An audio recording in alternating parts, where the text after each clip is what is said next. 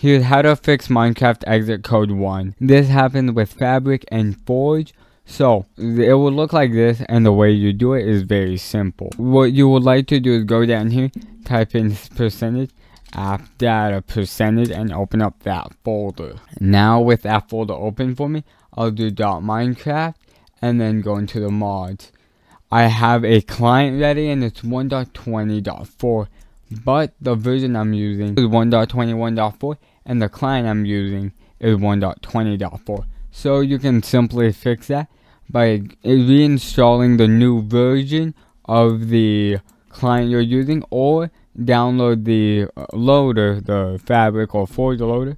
That's for that version. So 1.20.4, 1.20.4, and then you click on play and run it. And that should get it to run. If that did not work, I'd say just go into dot .minecraft and delete the folder entirely and delete everything from it. It may take a bit, but once it's done, you reinstall Minecraft and everything should be back. And that was a video on how to fix Minecraft exit code 1. I hope you all enjoy and found this helpful. See ya.